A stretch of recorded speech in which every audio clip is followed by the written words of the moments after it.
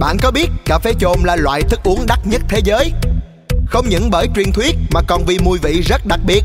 Cà phê chồn cứ bao được sản xuất từ trang trại nuôi trồng hương của chúng tôi tại Lâm Đồng. Một sản phẩm cà phê chồn đích thực, một sản phẩm đặc biệt cho người sành cà phê. Cà phê chồn, quà tặng đẳng cấp đến từ trang trại cà phê chồn của Cư Bao Coffee. Nhanh tay, nhanh tay! Chương trình trải nghiệm cà phê Cư Bao duy nhất tại hội chợ. Mua một tặng một cho cà phê loại thượng hạng và giảm giá 25% cho cà phê chồn. Với chúng tôi, cưa Bao Coffee, đam mê là cội nguồn của mọi sáng tạo. Chúng tôi mang đến cho bạn một sản phẩm làm thức tỉnh những đam mê tưởng chừng đã ngủ quên. Thức tỉnh sức mạnh tiềm ẩn bên trong con người mỗi chúng ta.